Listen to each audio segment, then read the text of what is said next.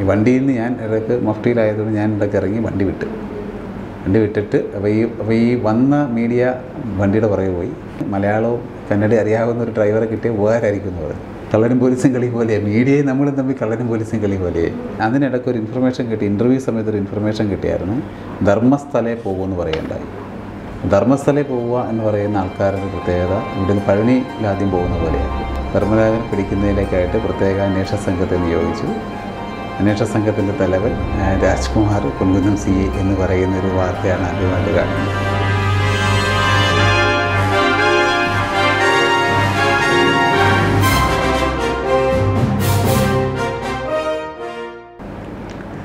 സാറിന് ഏറ്റവും ഇപ്പോൾ ഈ ഈ വിസ്മയ കേസൊക്കെ വരുന്ന സമയത്ത് സുരനെല്ലി കേസിലെ ധർമ്മരാജനെ പിടിക്കാൻ സിനിമാറ്റിക്കായി കർണാടകത്തിലേക്ക് പോയ സംഭവമാണ് വീണ്ടും പറയുന്നത് മീഡിയക്ക് റിപ്പോർട്ട് ചെയ്യുന്നത്. എങ്ങനെയായിരുന്നു ആ സംഭവം? Sir Ponkunnam C. ഐ ആയിരിക്കുന്ന സമയത്തായിരുന്നു. എങ്ങനെയായിരുന്നു ആ ഒരു അനുഭവം? എങ്ങനെയായിരുന്നു? രണ്ടായിരത്തി പതിനൊന്നിലാണ് പൊൻകുന്നത്ത് പോസ്റ്റ് ചെയ്യപ്പെടുന്നത്. രണ്ടായിരത്തി പതിമൂന്നായപ്പോഴത്തേക്ക് എനിക്ക് തോന്നുന്നത് മാതൃഭൂമി ന്യൂസ് ചാനലിലെ ഒരു ബ്രേക്കിംഗ് ന്യൂസായിട്ടായിരുന്നു ധർമ്മരാജൻ ആ ചാനലിൽ വന്ന് ഇങ്ങനെ ഒരു ഇന്റർവ്യൂ കൊടുക്കുന്നതാണ്. ആ ഇന്റർവ്യൂ കൊടുക്കുന്നതിൽ വളരെ പ്രശസ്തനായ ഒരു നേതാവ് ഇൻവോൾവഡ് ആണ് എന്ന രീതിയിലുള്ള ഇന്റർവ്യൂ ആയിരുന്നു അതിന് കൊടുത്തത്. അദ്ദേഹം ഓൾ ഇന്ത്യ തലത്തിലുള്ള വലിയൊരു സുപ്രധാന പോസ്റ്റ് ഇരിക്കുന്നത് കൊണ്ട് ഈ സാധനം ഭയങ്കരമായിട്ട് വൈറലാകുന്ന ഒരു സംഭവം ഉണ്ടായി ഒരു ദിവസം ഞാനും Kanjirappally D Y S P Suresh Kumar സാറും കൂടി പൊൻകുന്നം സി ഓഫീസ് ഇരിക്കുന്ന സമയത്ത് ചാനലിലൂടെ ഒരു സ്ക്രോൾ ചെയ്തൊരു ന്യൂസ് പോകുന്നതാണ് കണ്ടത്. ധർമ്മരാജനെ പിടിക്കുന്നതിലേക്കായിട്ട് പ്രത്യേക അന്വേഷണ സംഘത്തെ നിയോഗിച്ചു. അന്വേഷണ സംഘത്തിന്റെ തലവൻ രാജ്കുമാർ പൊൻകുന്നം സി എന്ന് പറയുന്ന ഒരു വാർത്തയാണ് ആദ്യമായിട്ട് കാണുന്നത്. അപ്പോൾ ആ സമയം വരെ നമുക്ക് ധർമ്മരാജൻ എന്ന് പറയുന്ന ഒരാളെക്കുറിച്ച് നമ്മൾ അതിന് മുമ്പ് വായിച്ചറിഞ്ഞിട്ടുള്ളതല്ലാതെ ഡെപ്തിലേക്ക് പോയിട്ടില്ല. പിന്നെ അത് കഴിഞ്ഞ് കുറച്ച് കഴിഞ്ഞപ്പോൾ ഈ ധർമ്മരാജൻ എന്റെ കേസിൽ അന്വേഷിക്കണമെങ്കിൽ ഞാൻ പിന്നെ ഈ ഡാറ്റ എവിടുന്ന് കിട്ടുമെന്നുള്ളതായി അപ്പോൾ ഇങ്ങനെ ആലോചിച്ചിരിക്കുമ്പം ഒരു അങ്ങനെ ഓഫീസിൽ തന്നെ ഇരിക്കുന്നു. ഒരു എട്ടേ മുക്കാൽ മണി ആയപ്പോഴത്തേക്ക് ഒരു പത്രക്കാരൻ വിളിക്കുന്നു. പത്രക്കാരൻ അയാളെ സബ് എഡിറ്ററാണ് സലിം എന്നാണ് പേര്. കോട്ടയം ബ്യൂറോയിലുണ്ട്. ഇദ്ദേഹം വിളിച്ചു എവിടെയുണ്ടെന്ന് ചോദിച്ചു. നമ്മുടെ ഓഫീസിൽ ഇരിക്കുക എന്ന് പറഞ്ഞു എന്നാൽ ഞാൻ ടൗണിലുണ്ട് ഞാൻ വരട്ടെ എന്ന് ചോദിച്ചു. അപ്പോൾ അദ്ദേഹം വന്നു. അദ്ദേഹത്തിനോട് ഡിസ്കസ് ചെയ്യുന്ന സമയത്ത് ഇദ്ദേഹമാണ് സത്യത്തിൽ ധർമ്മരാജനെ കുറിച്ചുള്ള ഡാറ്റ ഇങ്ങോട്ട് തരുന്നത്. ഇദ്ദേഹത്തിന് കുറേ ഏറെ ഡാറ്റ അറിയാമായിരുന്നു. അദ്ദേഹമാണ് എനിക്ക് കളക്ട് ചെയ്ത് തന്നത് ധർമ്മരാജൻ അവിടെ മൈസൂരുള്ള ലേഖകൻ. ജോമോൻ എന്ന് പറയുന്ന ആളോടും അവിടുത്തെ ക്യാമറയും മറ്റേ ചാനലിന് വേണ്ടി എടുത്തത് മധു എന്ന് പറയുന്ന ഒരാളുമാണെന്ന് പറയുകയുണ്ടായി അപ്പോൾ എനിക്ക് അവരുടെ ഒരു നമ്പർ കണക്ട് ചെയ്ത് കിട്ടി. അപ്പോൾ എനിക്ക് ഇതിന്റെ സത്യത്തിൽ ആ സമയത്ത് അതായത് എന്നെ ചാനലിൽ എഴുതി കാണുക ഏഴര മണിക്ക് എങ്ങാണ്ടാണ് കാണുന്നത്. എട്ടര മണിയായപ്പോഴത്തേക്ക് ഒരു ഈ പറഞ്ഞ കോൾ വരുന്നു അതിനെക്കുറിച്ച് ചെയ്യുന്നു. അപ്പോൾ പെട്ടെന്ന് ഡേറ്റ ഇങ്ങോട്ട് വന്നുകൊണ്ടിരിക്കുകയും അപ്പോൾ ഇരുന്ന് പിന്നെ പിറ്റേ ദിവസം പോകുമ്പോൾ നമുക്ക് അറസ്റ്റ് വാറന്റ് ആവശ്യമുണ്ട്. അപ്പോൾ അതിന് വേണ്ടി കോടതിയിൽ റിക്വസ്റ്റ് കൊടുത്തു. അപ്പോൾ ആ അറസ്റ്റ് വാറന്റ് തന്നു.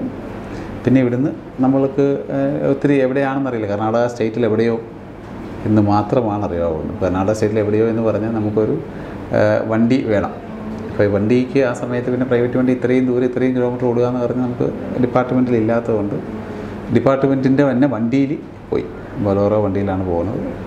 പോകുന്ന സമയത്ത് ശരിക്കും പറഞ്ഞാൽ ഈ ഈ ഒരു ഫോ ഈ ക്യാമറാമാനെയും ഈ ജോ ഈ ജോമോൻ എന്ന് പറയുന്ന ലേഖകനെയും കണ്ടാൽ മാത്രമേ നമുക്ക് എന്തെങ്കിലും അവിടുന്ന് തുടരാൻ പറ്റുള്ളൂ.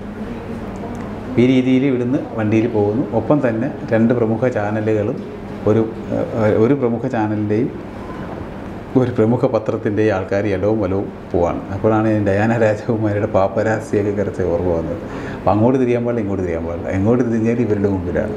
അപ്പോൾ ഈ സ്ക്രോൾ ന്യൂസിന്റെ കണ്ടിന്യൂഷൻ ഇവർക്ക് കൊടുക്കാൻ വേണ്ടി ഇവർ നമ്മൾ പിടിക്കില്ല അപ്പോൾ അങ്ങനെ കഷ്ടപ്പെട്ട് പോയിട്ട് മൈസൂർ എത്തിക്കഴിഞ്ഞപ്പോഴത്തേക്ക് ഞാൻ ഈ മൈസൂർ എത്തിക്കഴിഞ്ഞ് അവിടെ ഞാൻ ഇടയ്ക്ക് ഇറങ്ങി കളഞ്ഞു ഈ വണ്ടിയിൽ നിന്ന് ഞാൻ ഇടയ്ക്ക് മഫ്റ്റിയിലായതുകൊണ്ട് ഞാൻ ഇടയ്ക്ക് ഇറങ്ങി വണ്ടി വിട്ടു. വണ്ടി വിട്ടിട്ട് അപ്പോൾ ഈ അപ്പോൾ ഈ വന്ന മീഡിയ വണ്ടിയുടെ പുറകെ പോയി. ഞാൻ ഇറങ്ങി നടന്നു. നടന്നിട്ട് ഫോൺ വിളിച്ച് ജോമോനെ വിളിച്ചു വരുത്തി. അപ്പോൾ ജോമോന്റെ കയ്യിൽ നമ്പർ കിട്ടി. ഈ നമ്പർ നമ്മൾ അവിടെ നിന്ന് എടുത്ത് കോട്ടയത്തെ സൈബർ സെല്ലുമായി ബന്ധപ്പെട്ടുകൊണ്ട് അതിന്റെ ലൊക്കേഷൻസ് നോക്കി. അപ്പോൾ നമുക്ക് രാവിലെ ഒൻപതേ കാലിനുള്ള ലൊക്കേഷന്റെ സമയം നമുക്ക് തരുന്നത് പന്ത്രണ്ടേ മുക്കാലാകുമ്പോൾ അപ്പോൾ ഈ ഒമ്പതേ കാലിന് അയാൾ യാത്ര ചെയ്യുന്ന സമയമാണ്. പന്ത്രണ്ടേ മുക്കാൽ എന്ന് പറയുമ്പോൾ ഈ പറയുന്ന ഏതാണ്ട് മൂന്നര മണിക്കൂർ കൊണ്ട് അയാൾ പത്താം നൂറ്റമ്പത് ഇരുന്നൂറ് കിലോമീറ്റർ സഞ്ചരിച്ചിട്ടുണ്ടാവും. അപ്പം അതുകൊണ്ടൊരു ഒരു പ്രയോജനമില്ല എന്നുള്ളൊരു ചിന്ത വന്നു. അപ്പോൾ ഈ ജോമോനോടുകൂടി ഏലിച്ച് അപ്പോൾ പിന്നെ ഇനി എന്ത് എന്നുള്ളൊരു ചിന്ത കയറി വരുവാണ്. അങ്ങനെ ചിന്ത കയറി വരുന്ന സമയത്താണ് നമ്മൾ അവിടെ നിന്ന് നേരെ മൈസൂർ സിറ്റി പോലീസ് കമ്മീഷണറെ എങ്ങനെ കോണ്ടാക്ട് ചെയ്യാമെന്നൊരു ആലോചന വന്നു. ഈ സമയത്ത് നമ്മൾ മൈസൂർ കർണാടക സ്റ്റേറ്റിന്റെ state disaster management coordinator Shri Pradeep ഉണ്ട്. ഇദ്ദേഹം ഡിസാസ്റ്റർ എക്സ്പെർട്ടാണ് ക്ലാസ് എടുക്കുന്നത്. രണ്ടായിരത്തി പതിമൂന്ന് ജനുവരി ഒന്നിനും രണ്ടായിരത്തി പതിനാല് ജനുവരി ഒന്നിനും പൊൻകുന്നത്ത് ദുരന്ത നിവാരണ സേന ഉണ്ടാക്കിയിട്ടുണ്ടായിരുന്നു. അപ്പോൾ അത് ഈ പറഞ്ഞ മരം വെട്ടുകാരുണ്ടാവും ആംബുലൻസുകാരുണ്ടാവും ക്രെയിൻ ഓപ്പറേറ്റേഴ്സ് ഉണ്ടാവും നീന്തലുകാരുണ്ടാവും അങ്ങനത്തെ ഓരോ ക്രോസ് സെക്ഷനെയും കൂട്ടിക്കൊണ്ട് വന്നിട്ട് പത്തിരുന്നൂറ് പേർക്ക് നമ്മൾ ട്രെയിനിങ് കൊടുക്കുമായിരുന്നു. അപ്പോൾ ആ ട്രെയിനിങ്ങിന് നേതൃത്വം കൊടുക്കുന്നത് പ്രദീപ് സാർ അപ്പോൾ അദ്ദേഹത്തെ ഓർത്തു. അദ്ദേഹം പറഞ്ഞു എന്റെ ഫ്രണ്ടാണ് സുധീർ ഐ പി എസ് കർണാ മൈസൂർ സിറ്റി പോലീസ് കമ്മീഷണർ അദ്ദേഹത്തെ കണ്ടാമെന്ന് പറഞ്ഞു. അപ്പോൾ അങ്ങനെ അദ്ദേഹത്തെ കയറി കണ്ടു. അദ്ദേഹം എന്ത് ചെയ്യുന്നു വെച്ചാൽ അവിടുത്തെ ക്രൈം എസ് പിയോട് പറഞ്ഞിട്ട് യോഗാഞ്ചനപ്പ എന്ന് പറയുന്ന എസ് ഐ സുനിൽ എന്ന് പറയുന്ന സി ഐയിൽ ഈ നമ്പറുമായി ബന്ധപ്പെട്ട ഡേറ്റകൾ അപ് ടു ഡേറ്റ് ആയിട്ട് എടുത്ത് കൊടുക്കാൻ പറയേണ്ടായി ഇങ്ങനെ വന്ന് നമ്മൾ തിരിച്ച് വന്നപ്പോഴത്തേക്കാണ് അത് ആ ഒരു ഭാഗം നമ്മളങ്ങനെ ക്ലിയർ ചെയ്ത് വെച്ചു. ക്ലിയർ ചെയ്ത് വെച്ച് കഴിഞ്ഞപ്പോഴത്തേക്ക് നമുക്ക് ഈ വണ്ടിയുടെ അടുക്കലേക്കൊന്നും ചെല്ലാൻ പാടില്ല. നമ്മുടെ പോലീസ് വണ്ടിയുടെ അടുക്കലേക്ക് ചെന്ന് കഴിയുമ്പോഴത്തേക്ക് പോലീസ് വണ്ടി ചുറ്റും നൂറ് കണക്കിന് ക്യാമറകൾ ഇടങ്ങി അന്വേഷണ സംഘം മൈസൂർ അന്വേഷണ സംഘം പറഞ്ഞിട്ട് ഭയങ്കര വാർത്തകൾ ഇടങ്ങി അപ്പോൾ പിന്നെ അവിടുന്ന് സൂത്രത്തിൽ ആ വണ്ടിയിലിരുന്ന നിസാമിനെ ഷുബുക്കൂട്ടനും അപ്പോൾ ഈ വണ്ടി ജീപ്പ് അവിടെ തന്നെ ഇട്ട് നമ്മൾ ഈ വണ്ടി ഇട്ടിട്ട് അതിനകത്തുനിന്ന് ബാഗ് ഒന്നും എടുക്കാതെ ഈ ആ ഇട്ട ഡ്രസ്സിൽ അവിടെ നിന്ന് വിളിച്ചിട്ട് ഈ ചാക്കോ എന്ന് പറഞ്ഞ എസ് ഐയും ഷാജൻ എന്ന് പറയുന്ന ആരെയും ഈ വണ്ടിക്ക് കാവലിട്ട്. പിന്നെ അവർ അവിടെ നിന്ന് ഇറങ്ങി. ഇറങ്ങിയിട്ട് അവിടെ നിന്ന് മാറി നിന്നിട്ട് ഇനി ഒരു പ്രൈവറ്റ് വണ്ടി വേണം. കാര്യം ഇനിയിപ്പോൾ ചാനൽ ഇത്രയും പൊതിഞ്ഞുകൊണ്ട് ഇനി നമുക്ക് അവിടെ വണ്ടി നമ്പർ എല്ലാം കണ്ട് നമ്മളെ പിന്നെ ഐഡന്റിഫൈ ചെയ്ത് ഇനി അവിടെ മുമ്പോട്ട് പോകാൻ പറ്റത്തില്ല. ഇത് വെച്ച് അവിടെ നിന്ന് കഴിഞ്ഞപ്പോഴാണ് ഒരു അവിടെ നിന്നൊരു വണ്ടി ഇങ്ങനെ അറേഞ്ച് ചെയ്യും. അപ്പോൾ നോക്കി കഴിഞ്ഞപ്പോഴാണ് ഈ കടുത്തിരുത്തിക്ക് അപ്പുറത്ത് ഒരു സജി എന്ന് പറഞ്ഞൊരാളുണ്ട്. അപ്പോൾ അയാളുടെ കാര്യം ഓർമ്മ വന്നു അയാൾ വിളിച്ച് കഴിഞ്ഞപ്പോൾ അയാളുടെ അളിയൻ അവിടെ ഉണ്ടെന്ന് പറഞ്ഞ് അപ്പോൾ അയാൾ പറഞ്ഞ് എന്നാൽ ഞാൻ എന്റെ വണ്ടി തരാമെന്ന് പറയുന്നു. അങ്ങേരോട് ഞാൻ പറഞ്ഞ് മലയാളവും കന്നഡ അറിയാവുന്ന ഒരു ഡ്രൈവറെ കിട്ടിയ ഉപകാരമായിരിക്കും എന്ന് പറഞ്ഞു. അങ്ങനെ ഹരീഷ് എന്ന് പറയുന്ന ഡ്രൈവർ ഒരു ടവേരയായിട്ട് വന്നു. അപ്പോൾ കർണാടക രജിസ്ട്രേഷനാണ്. ഇത് വെച്ച് നമ്മൾ ഈ ലൊക്കേഷൻ വെച്ച് മുമ്പോട്ട് പോകുന്നു. കുറേ കഴിഞ്ഞപ്പോഴത്തേക്ക് കുറേ കഴിഞ്ഞപ്പോൾ രക്ഷപ്പെട്ടു എങ്ങനെയോ മനോരമക്കാർ പേര് ആ പത്രക്കാരൻ നമ്മളൊപ്പം ഓടിയെത്തി. അതിങ്ങനെ ഓരോ രാത്രി ഇങ്ങനെ ഓരോ സ്ഥലത്ത് ഇങ്ങനെ പോയിക്കൊണ്ടിരിക്കുകയാണ്. അപ്പോൾ നമ്മൾ ഉറങ്ങുന്നില്ല. അപ്പോൾ ഇവൻ അതിനിടയ്ക്ക് ഒരു ഇൻഫർമേഷൻ കിട്ടി ഇന്റർവ്യൂ സമയത്ത് ഒരു ഇൻഫർമേഷൻ കിട്ടിയായിരുന്നു ധർമ്മസ്ഥലേ പോകുമെന്ന് പറയുണ്ടായി ധർമ്മസ്ഥലേ പോവുക എന്ന് പറയുന്ന ആൾക്കാരുടെ പ്രത്യേകത ഇവിടുന്ന് പഴനിയിൽ ആദ്യം പോകുന്ന പോലെയാണ് തലമുട്ടയടിക്കും. അപ്പം അങ്ങനെയാണെങ്കിൽ ഇന്റർവ്യൂവിന്റെ സമയത്ത് കണ്ട വേഷത്തിലായിരിക്കില്ല ഇയാളെന്ന് നമുക്കൊരു ധാരണയുണ്ട്. അപ്പോൾ ചാനലിൽ കണ്ട ആ ഫോട്ടോ ചാനലിന്റെ സ്ക്രീനിൽ നിന്ന് എടുത്ത ഫോട്ടോ എടുത്തിട്ട് നമ്മളത് ഒരു കമ്പ്യൂട്ടർ സെന്ററിൽ കൊടുത്തിട്ട് ഈ സാധനം ഇതൊക്കെ മാറ്റി. മാറ്റിക്കഴിഞ്ഞാൽ എങ്ങനെ ഇരിക്കും? അപ്പോൾ സ്വാഭാവികമായിട്ട് നമുക്കൊരു ഐഡിയ ഉണ്ട്. ഇതുമായി ബന്ധപ്പെട്ട് പിന്നെ കുറേ സ്ഥലങ്ങളുണ്ട്. ഇങ്ങനെ പോയി പോയി പോയി പോയി ഒരു ദിവസമായി രണ്ട് ദിവസമായി മൂന്ന് ദിവസമായി നാലാം ദിവസമായി. അപ്പോൾ ഓരോ കണ്ടിന്യൂസ് പോകുന്ന സമയത്ത് ഇയാൾ മദ്യപാനിയാണെന്നുള്ള ഇൻഫർമേഷൻ ഉണ്ട്. അതുകൊണ്ട് പോകുന്ന സമയത്ത് വൈൻ ബാറിൽ കയറും ബാറിൽ കയറും മറ്റേ തട്ടുകടയിൽ കയറി നോക്കും സ്കൂൾ പോകുമ്പോൾ നോക്കും ഗ്രൗണ്ടിൽ പോയി നോക്കും. അപ്പോൾ ഇയാൾ അങ്ങനെ ഒരു നേച്ചറിൽ പോകുന്ന ആളാന്ന് തോന്നിയത് കൊണ്ട് ഈ രീതിയിലങ്ങ് പോകും. അങ്ങനെ പോയി. എന്റെ ലാസ്റ്റ് പറയുകയാണെങ്കിൽ ഒരു ഷിമോഗയിൽ നോക്കിക്കഴിഞ്ഞ് അടുത്ത ദിവസം നമ്മൾ ഒരു അപ്പോഴത്തെ ഈ പിന്നെ സ്വിച്ച് ഓഫ് ആയി കഴിഞ്ഞാൽ പിന്നെ കിട്ടിയല്ലോ. പിന്നെ ഇയാൾ ഈ ചെറിയ ഫോണൊന്ന് ചാർജ് ചെയ്യണമല്ലോ. അന്ന് ഈ പറഞ്ഞ പോലെ ലൈവ് പവർ ബാങ്ക് ഒന്നും ഇല്ലാത്തൊരു കാലഘട്ടമാണ്. എവിടെയെങ്കിലും കൊണ്ടുപോയിട്ട് ചാർജൊക്കെ ചെയ്ത് വരുമ്പോൾ ചിലപ്പോൾ ഒരു മൂന്നാൽ മണിക്കൂറത്തേക്ക് സ്വിച്ച് ഓഫാണ് അപ്പോൾ നമുക്ക് ഒരു രക്ഷയില്ലാതെ ഈ നാല് മണിക്കൂർ നമ്മൾ അന്തരീക്ഷത്തിലാണ്. അപ്പോൾ ഈ ആൾ പോകാൻ സാധ്യതയുണ്ടെന്നും പറഞ്ഞ് നമ്മൾ കുറേ പോവാം. അങ്ങനെ പോയി ഷിമോഗയിൽ ചെന്ന് അപ്പോൾ ഷിമോഗയിൽ ഉണ്ടായിരുന്നു എന്ന് മനസ്സിലായി.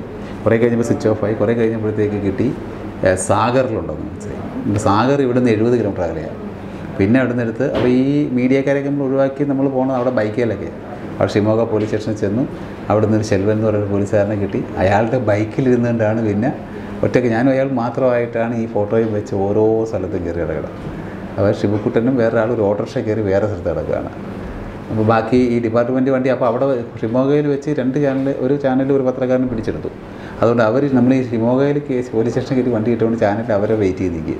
ഞങ്ങളിങ്ങനെ നടക്കുകയാണ് അപ്പോൾ ശരിക്കും അതൊരു അഡ്വഞ്ചറസോ അല്ലെങ്കിൽ ഒരു എന്താ പറയുക കള്ളനും പോലീസും കളി പോലെയാണ് മീഡിയയും നമ്മൾ തമ്മിൽ കള്ളനും പോലീസും കളി പോലെ അവിടെ നിന്ന് ഇറങ്ങി സാഗറിൽ ചെന്ന് സാഗറിൽ ഇങ്ങനെ ചെന്നപ്പോൾ അവിടെ വന്നിട്ടുണ്ടെന്ന് മനസ്സിലായി. നമ്മളവിടേക്ക് തപ്പി നടന്നു പോലെ സ്കൂൾ കോമ്പൗണ്ടിൽ കയറി നോക്കി. അവിടെ അവിടെ തന്നെ ഏതാണ്ട് പത്ത് പതിനാല് വൈൻ ബാറുകളുണ്ട്. ഈ ചെറിയ പെട്ടിക്കട പോലെയാണ് വൈൻ ബാറുള്ളത്. അപ്പോൾ അതിനകത്തൊക്കെ ഇറങ്ങി നടന്നു. കിട്ടിയില്ല. നേരെ വെളുത്തു. നമ്മളൊരു ഹോട്ടലിൽ പോയി പത്ത് രൂപയ്ക്ക് പച്ചവെള്ളത്തിൽ കുളിക്കാം മുപ്പത് രൂപയ്ക്ക് ചൂടുവെള്ളത്തിൽ കുളിക്കാം എന്നുള്ള സ്ഥലമൊക്കെ ഉണ്ട്. വേറെ ഡ്രസ്സില്ല. കയ്യിലുള്ളത് ഒരു ഒരു ലുങ്കി വാങ്ങല അരസിക്കറി എന്നൊരു സ്ഥലത്ത് നിന്ന് ലുങ്കി വാങ്ങിച്ചു ഒരു ചപ്പൽ വാങ്ങിച്ചു ബ്രഷ് വാങ്ങിച്ചു ഒരു പേസ്റ്റ് വാങ്ങിച്ചു. ഈ ഡ്രസ്സ് അത് മാത്രം. വേറെ എങ്ങും റൂം ലോജ് എടുത്തിട്ട് റൂം എടുത്തിട്ടേ ഇല്ല. ഇത് കഴിഞ്ഞിട്ട് രാവിലെ ഇവിടെ വന്നപ്പോൾ ഒരു ഒരു ഒമ്പതര മണിക്ക് ഒരു ഹോട്ടലിൽ കയറി ഭക്ഷണം കഴിക്കുമ്പോൾ ചാനലുകാരും വിഷമിച്ചു. കാര്യം അവർ റെസ്റ്റ് എടുത്ത് ജീവിച്ചവരായതുകൊണ്ട് ഞങ്ങൾ റെസ്റ്റ് എടുക്കാൻ ചെയ്തപ്പോൾ അവർക്ക് മൂന്ന് ദിവസം കഴിഞ്ഞപ്പോൾ അവർക്ക് ഉറക്കപ്പിച്ചും പ്രശ്നമൊക്കെ ആയി.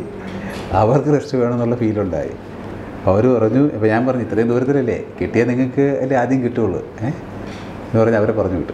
അവരെ പറഞ്ഞു വിട്ട് കുറച്ച് കഴിഞ്ഞപ്പോഴത്തേക്ക് യോഗാഞ്ജനപ്പം ഐ ടെസ് ഐ. കോൺട്രാക്ടേഴ്സ് കോളനിയിൽ ഒരു ലൊക്കേഷൻ കിട്ടിയായിരുന്നു അപ്പോൾ കോൺട്രാക്ടേഴ്സ് കോളനിയിലേക്ക് പോകാൻ വേണ്ടി പെട്ടെന്ന് ഞങ്ങൾ തയ്യാറായി പോകുന്നു. അങ്ങനെ പോകുന്ന സമയത്ത് ഒരു പർട്ടിക്കുലർ ഏരിയയോട് ചെന്ന് കഴിഞ്ഞാൽ ജോക്ക് ഫാൾസ് വെള്ളച്ചാട്ടമാണ്. അപ്പം അത് സാഗരം ഇരുപത്തിരണ്ട് കിലോമീറ്റർ അകലെയാണ്. അപ്പോൾ അങ്ങോട്ട് പോകുന്ന വഴി ഈ ഹരീഷ് ഡ്രൈവർ പറയുന്നു നേരെ പോയാലും അവിടെ എത്തും. ഈ ഫോ കാർഗിൽ ഫോറസ്റ്റ് വഴി പോയാലും എത്തും എന്ന് പറയുന്നു. അപ്പോൾ നമുക്ക് രണ്ടായാലും അറിയാൻ വയ്യല്ലേ?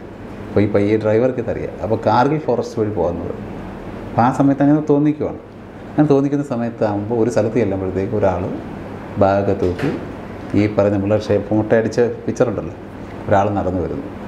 നടന്നു വരുന്ന യാദൃശ്യമായിട്ട് ആ ആളെ നമുക്ക് അങ്ങനെ അവിടുന്ന് കിട്ടുന്നൊരു സഭ ഇത് കുറച്ച് ലക്ക് രണ്ട് നമ്മളുടെ ആ ഒരു ഈ പിടിച്ചേ പറ്റുള്ളൂ നമ്മുടെ ആ ഒരു ഡെഡിക്കേഷൻ രണ്ട് നമ്മളൊരു ലോഡ്ജിൽ റൂം പോലും എടുക്കുന്നില്ല.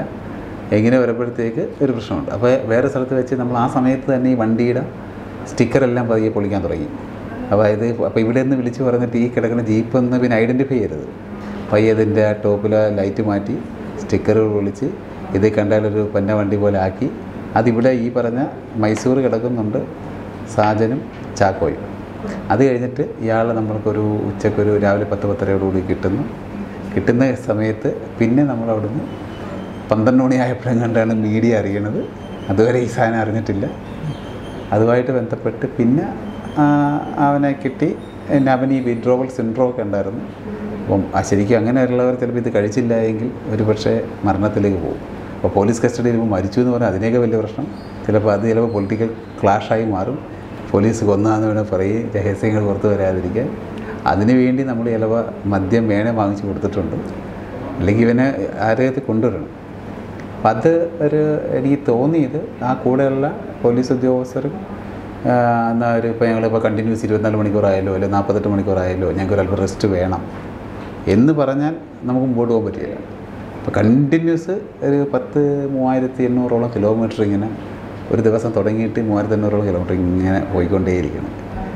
അപ്പോൾ ആ രീതിയിൽ ഒരു ഹാർഡ് വർക്ക് ചെയ്തപ്പോഴത്തേക്ക് നമ്മൾ എടുക്കുന്ന ഡിസിഷൻസ് എല്ലാം കറക്റ്റായിട്ട് വരുന്നു. അല്ലെങ്കിൽ കർണാടക പോലത്തെ കേരളത്തിന്റെ രണ്ടോ മൂന്നോ ഇരട്ടി വലിപ്പമുള്ള സ്റ്റേറ്റിൽ നിന്ന് ഒരു ദിവസം അവൻ നോക്കിക്കഴിഞ്ഞാൽ ചിലപ്പോൾ മഹാരാഷ്ട്ര ബോർഡറിലായിരിക്കും വേറെ ദിവസം നോക്കിക്കഴിഞ്ഞാൽ പത്ത് ഇരുന്നൂറ് കിലോമീറ്റർ വേറെ ആയിരിക്കും. പിന്നെ അടുത്തത് നമ്മൾ നോക്കുമ്പോൾ വീണ്ടും പത്ത് നാനൂറ് കിലോമീറ്റർ അകലത്തെയാണ്.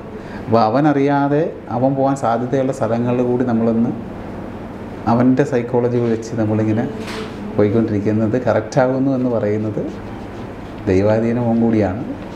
നമ്മളുടെ ആ വർക്കിനോട് കാണിക്കുന്ന ഡെഡിക്കേഷന്റെ റിസൾട്ട് അറിയാതെ കിട്ടുന്നു. അങ്ങനെയാണ് ധർമ്മരാജനെ പിടിച്ചത്. ഇപ്പോഴും ഇന്ത്യയിൽ തന്നെയാണ് തോന്നുന്നത്